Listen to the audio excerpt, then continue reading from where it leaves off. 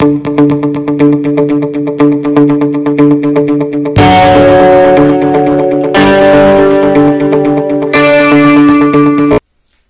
friends welcome to our channel math magic with logic நான் உங்க Bharat.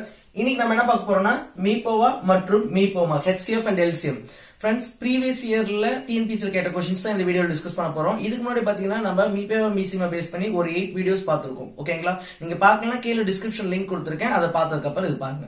Right so வாங்க first question பார்க்கலாம். So first question பாருங்க.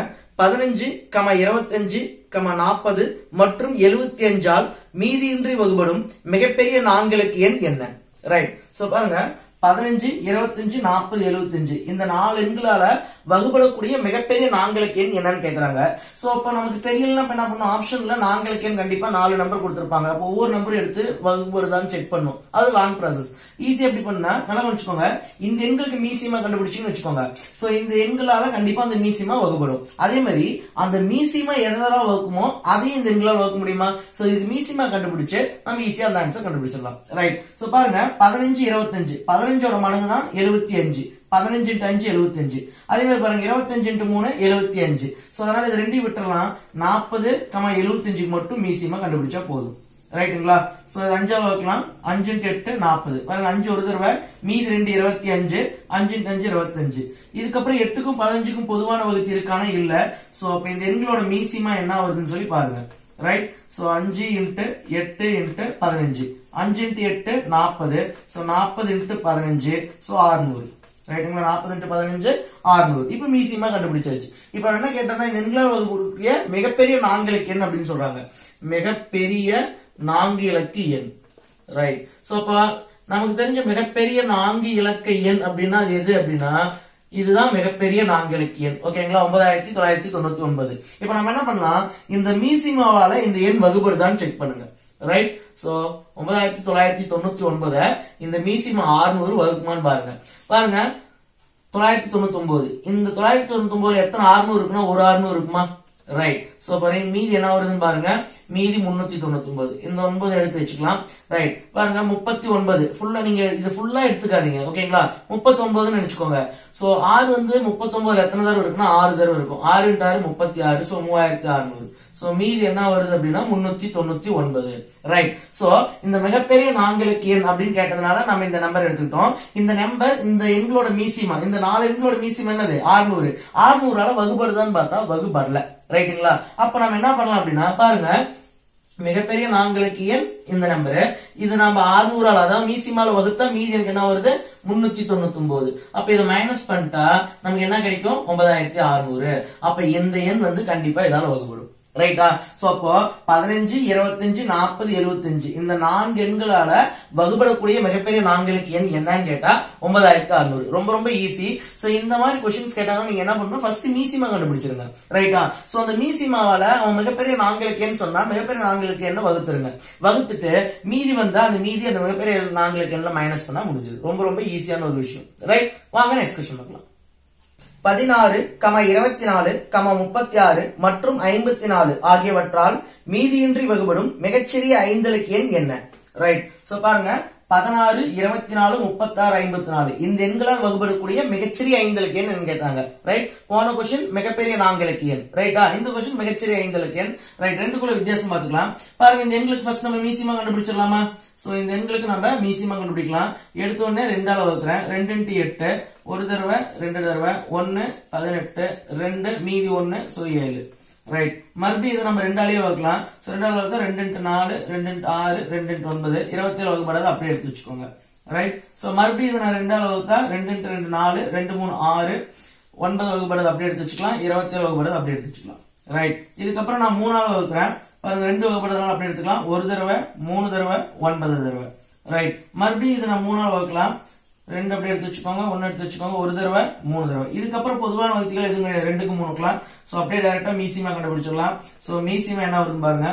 ரெண்டு எத்தனை தடவை வந்திருக்குன்னா ஒன்னு ரெண்டு மூணு நாலு தடவை வந்திருக்கு. அப்ப டூ பவர் ஃபோர் ரைட் மூணு ஒன்னு ரெண்டு மூணு தடவை வந்திருக்கு. அப்ப த்ரீ கியூப் டூ பவர் ஃபோரோட வேல்யூ என்னன்னா சிக்ஸ்டீன் த்ரீ கியூபோட வேல்யூ என்னன்னா twenty seven so sixteen twenty seven four thirty two right அப்ப மீசிமா என்ன வந்திருக்குன்னா நானூத்தி முப்பத்தி ரெண்டு.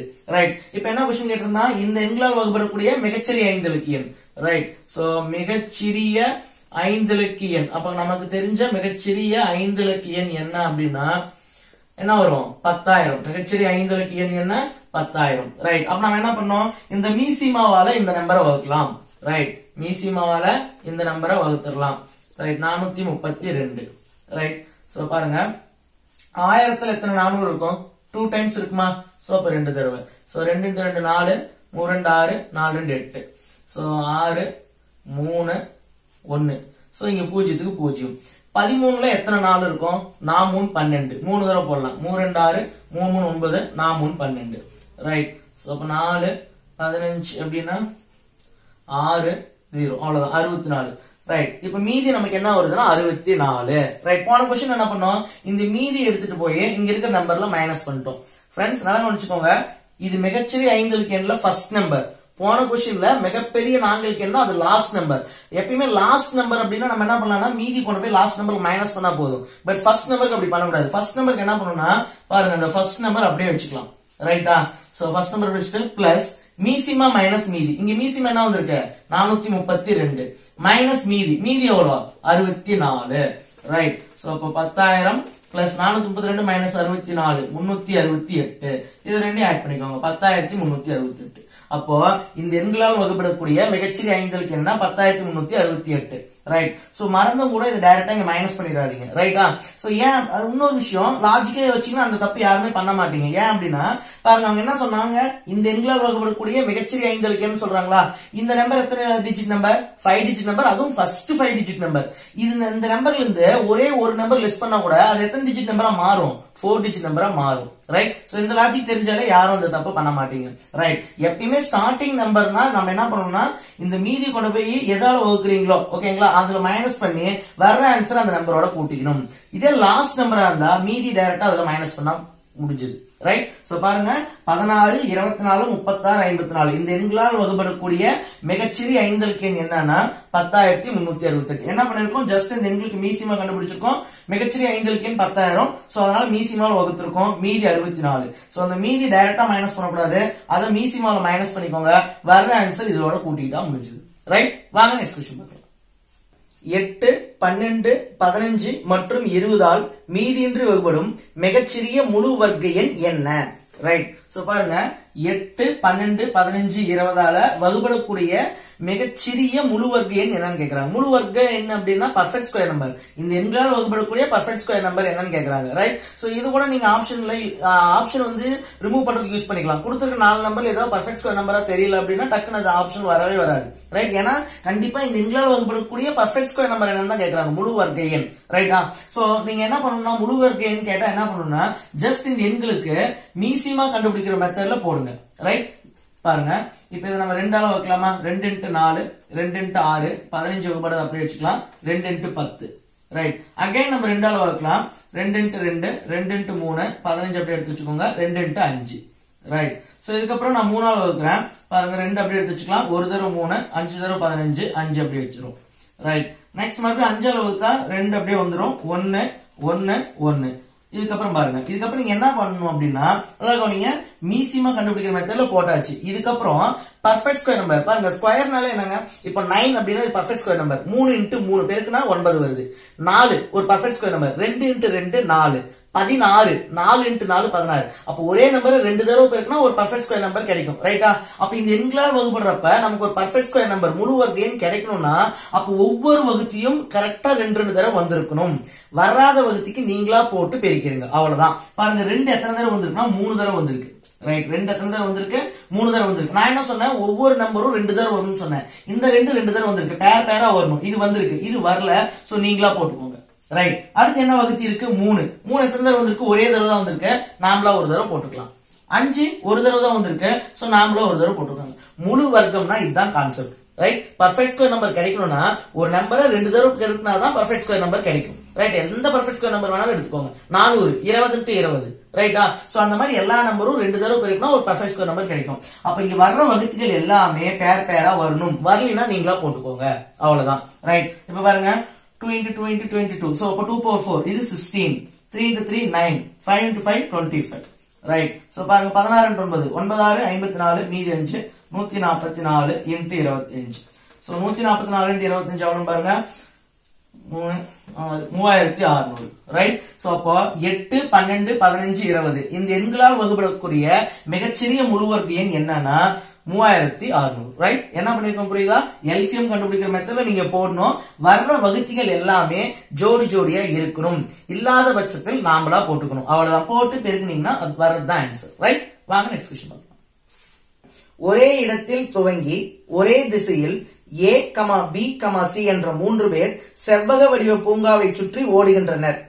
பூங்காவை ஒருமுறை சுற்றி வர ஏ 252 ஐம்பத்தி ரெண்டு வினாடிகளும் பி முன்னூத்தி எட்டு வினாடிகளும் சி நூத்தி தொண்ணூத்தி எட்டு வினாடிகளும் எடுத்துக்கொள்கின்றனர் ஓடத் தொடங்கிய பிறகு அதே துவக்க புள்ளியில் இந்த மூவரும் எத்தனை வினாடிகளுக்கு பிறகு சந்திப்பார்கள்? ரைட். சோ பாருங்க இப்ப மூணு பேர் வந்து செவ்வக வடிவ பூங்காவை சுத்தி ஓடுறாங்க அப்படின்னு சொல்லி கொடுத்திருக்காங்க.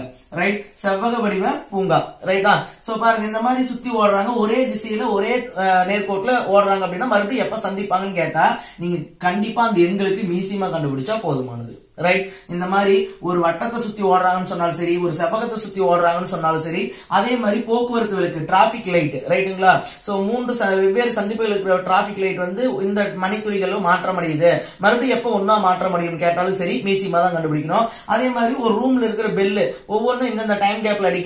எல்லாமே ஒரே நேரத்தில் எப்போ அடிக்கும் இந்த மூணு டைப் கொஸ்டினுக்கும் நீங்க மீசியமா கண்டுபிடிச்சா போதும் ரைட் சோ வாங்க இந்த எண்களுக்கு மீசியமா கண்டுபிடிக்கலாம். சோ வந்து ஏ வந்து 252 ஐம்பத்தி ரெண்டு வினாடிகள்ல ஓடுறாரு. பி முன்னூத்தி எட்டு வினாடிகள் சி நூத்தி தொண்ணூத்தி எட்டு வினாடிகள். சோ அப்ப இந்த எண்களுக்கு நீங்க மீசியமா கண்டுபிடிக்கணும். ரைட் சோ ரெண்டால் அடிக்கலாமா? பாருங்க ஒரு தடவை ரெண்டு ரெண்டு ரெண்டு நாலு மீதி ஒன்னு ஆறு டைம் ரைட் ரெண்டு ஒரு தடவை மீதி ஒன்னு அஞ்சு நாலு. ரெண்டு ஒன்பது பதினெட்டு மீதி ஒன்னு ரெண்டு ஒன்பது பதினெட்டு. ரைட் சோ நான் மறுபடியும் ரெண்டாவது அடிக்கிறேன். ரெண்டு இன்ட்டு ஆறு பன்னெண்டு ரெண்டு இன்ட்டு மூணு ஆறு. ரெண்டு இன்ட்டு ஏழு மீதி ஒன்னு ரெண்டு இன்ட்டு ஏழு. தொண்ணூத்தி ஒன்பது. ரைட் இதுக்கப்புறம் நான் ஏழாவது அடிக்கிறேன். ஏழு இன்ட்டு ஒன்பது அறுபத்தி மூணு ஏழு இன்ட்டு பதினொன்னு தொண்ணூத்தொன்பது அப்படியே வச்சுக்கலாம். ரைட் நெக்ஸ்ட் ஒன்பதால் அடிச்சா ஒரு தடவை பதினொன்று வகுப்படுது அப்படியே எடுத்துக்கோங்க. இங்கே பதினோரு டைம்ஸ் நெக்ஸ்ட் பதினொன்னால் வகுக்கலாம். ஒரு தடவை ஒரு தடவை ஒரு தடவை. ஸோ அப்போ இந்த எண்களோட மீசியமா என்ன வருதுன்னு சொல்லி பாருங்க.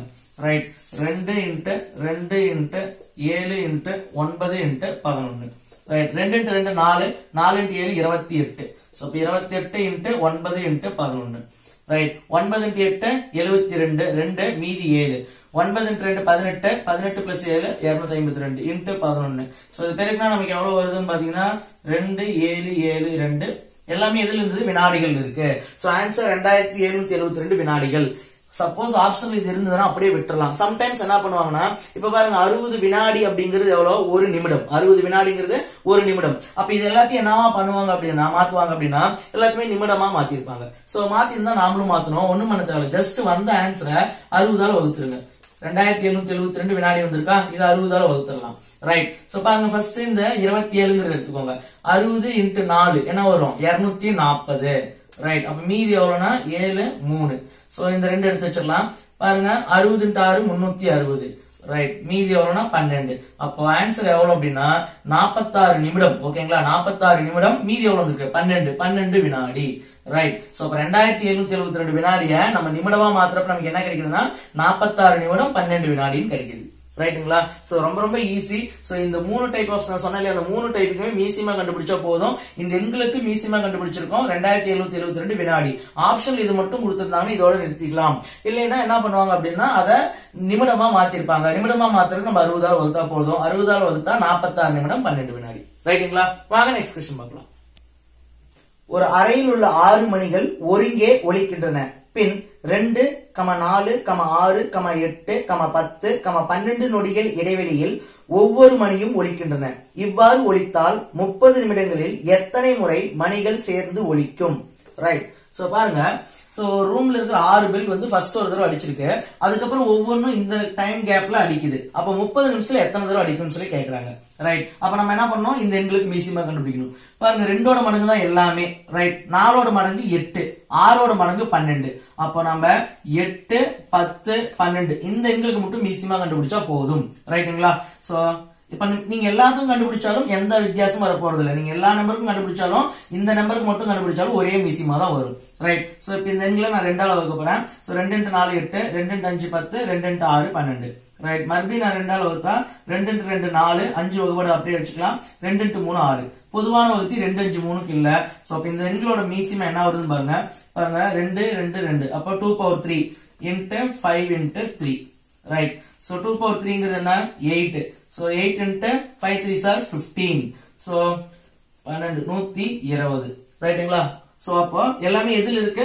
நொடிகள். அதாவது வினாடின்னு அர்த்தம். ஸோ அப்போ நூத்தி இருபது நொடிகள். மீசியம் என்னது? நூத்தி இருபது நொடிகள். நூத்தி இருபது நொடிகள் அப்படிங்கிறது நிமிடமா மாத்தினா அறுபது நொடிகள்ங்கிறது என்னது? ஒரு நிமிடம். அப்போ நூத்தி இருபது வினாடி நூத்தி இருபது நொடிகள்ங்கிறது ரெண்டு நிமிடம். ரைட் அப்போ முப்பது நிமிஷத்துல எத்தனை தடவை ஒன்னா சேர்ந்து ஒழிக்கும் கேக்குறாங்க. எல்லாமே ரெண்டு நிமிஷத்துக்கு ஒரு தடவை சேர்ந்து ஒழிக்குது. எல்லாமே ரெண்டு நிமிஷத்துக்கு ஒரு தடவை சேர்ந்து ஒழிக்குது. அப்போ முப்பது நிமிஷத்துல எத்தனை தடவை சேர்ந்து ஒழிக்கும் அப்படின்னா பதினஞ்சு தடவை சேர்ந்து ஒழிக்கும். பதினஞ்சு தடவை சேர்ந்து ஒழிக்கும். பட் இந்த கொஸ்டின்ல ஒரு விஷயத்தை கவனிக்கணும். என்ன தெரியுங்களா? ஃபர்ஸ்ட் எடுத்து என்ன சொல்லிட்டான்? ஒரு அறையில் உள்ள ஆறு மணிகள் ஒருங்கே ஒழிக்கின்றன அப்படின்னா. அப்ப ஃபர்ஸ்ட் ஒரு டைம் அடிக்குதுன்னு அர்த்தம். ரைட்டுங்களா அப்ப அதையும் நம்ம கவுண்டிங் எடுத்துக்கணும். அப்ப 15 plus one sixteen right so 15 போட்டக்கூடாது பதினாறு. சப்போஸ் அந்த லைன் ஃபர்ஸ்ட் எடுத்த உடனே எல்லா பில்லும் ஒரு தடவை ரிங் ஆகுது அப்படின்னு கொடுக்காம எடுத்த உடனே ஒரு அறையில் உள்ள ஆறு மணிகள் ரெண்டு நாலு ஆறு எட்டு பத்து நொடிகள் இடைவெளியில் அடிக்கின்றது அப்படின்னு கொடுத்திருந்தாங்க அப்படின்னா கண்டிப்பா ஆன்சர் பதினஞ்சு தான். ஓகேங்களா எடுத்த உடனே ஒரு தடவை ஒன்னா ஒழிச்சது அப்படிங்கிறது கொடுக்காம கொடுத்தா ஆன்சர் பதினஞ்சு. அதை மென்ஷன் பண்ணியிருந்தாங்கன்னா ஆன்சர் பதினாறு. கவனமா போடணும்.